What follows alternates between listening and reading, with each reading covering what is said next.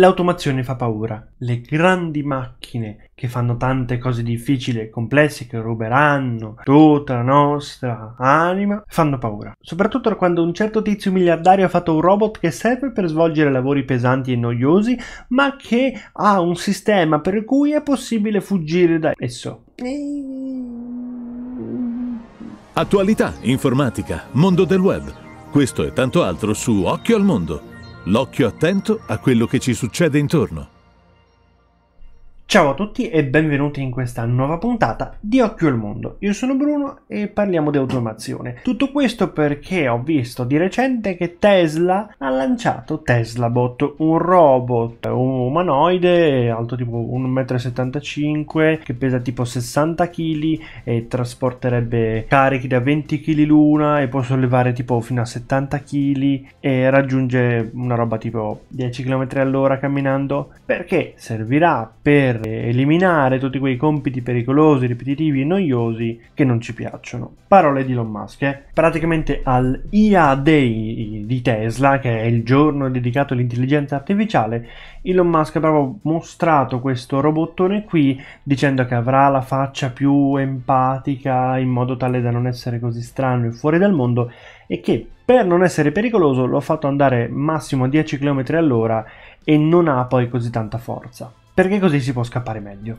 Ora potremmo fare della facile ironia su quanto sia spassoso che sia nei film di fantascienza dove i robot diventano coscienti e ci rubano tutto, sia nella realtà si sta dicendo che è meglio che abbiano una faccia più empatica per non mettere paura. E è molto ironico il fatto che Musk sia lo stesso che vuole bombardare Marte per terraformarlo. Cioè, sono tutte cose molto da cattivo. Però Tesla ha riaperto il tema della preoccupazione che la macchina ci rubi il lavoro. Perché è appurato. Grazie all'industria 4.0, ora tutte quelle mansioni di magazzineria per i magazzinieri di bassa manovalanza, diciamo così, saranno lentamente sostituiti da robot. Già adesso succede però ci sono ancora i magazzinieri che vanno in giro col carrello. Certo, eh, in alcuni magazzini il magazziniere è sostituito da un robot e gli occhi del robot da guardare i chip all'interno delle scatole per capire che scatole sono. Cioè, paradossalmente, quando voi comprate una maglietta, avete un chip che, che fa bip bip quando uscite. Quello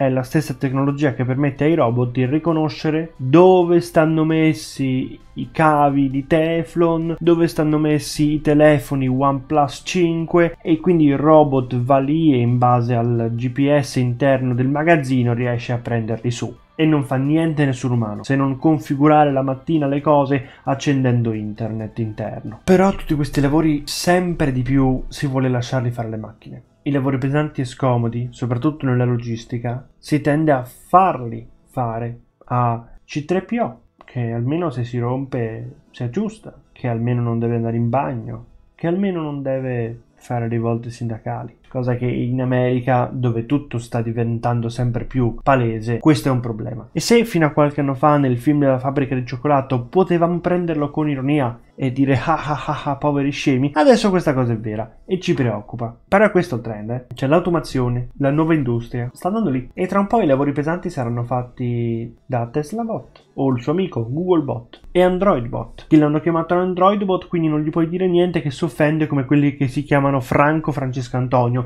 che cavolo, potevi scegliere un nome più cacofonico già che c'eri, no? No, oppure Rosa Rossi, ma che cavolo di nome è? Potevi scegliere un nome più fico, invece no, sei un genitore simpatico e che schifo. E questa è la parte positiva della tecnologia e avere paura che possano ribellarsi queste macchine è praticamente come avere paura che il microonde ti guardi storto. Cioè, può essere, eh, però magari perché hai segnato 18.05 e hai pensato che fosse uno sguardo storto, ma allo stato attuale non esistono intelligenze artificiali così potenti da permettere di avere una ribellione. Ora io vi lascio in eh, descrizione in sovraimpressione su YouTube il video sulle intelligenze artificiali perché è così giusto che capiate. Ma per farla semplice, un'intelligenza artificiale è una roba a cui tu dai dei dati in ingresso e ti restituisce cose che non, non puoi conoscere. Un algoritmo invece, se tu gli dai sempre gli stessi dati, ti ridarà sempre gli stessi risultati, è deterministico. 3 più 3 fa sempre 6, ma per un'intelligenza artificiale se tu gli dai 3 e 3 ti può dire sono lo stesso numero. La loro somma è 6. Probabilmente il numero successivo di questa sequenza è 3, poi dipende ovviamente da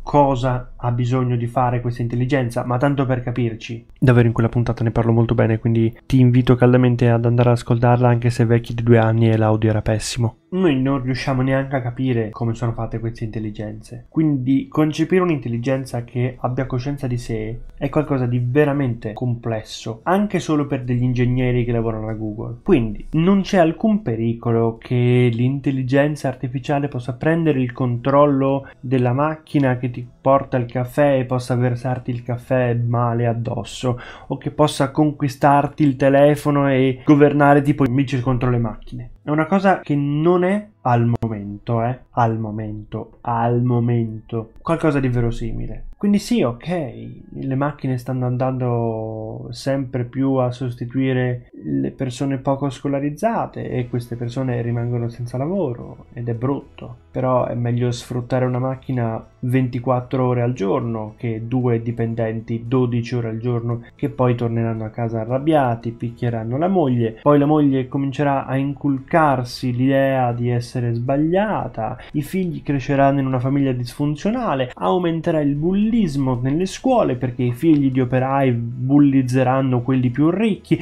quindi si creerà ancora più del classismo e andrà ad aumentare perché? Perché qualcuno ha pensato bene che invece che usare un robot meglio usare due persone che hanno sentimenti, perché almeno i robot non hanno sentimenti.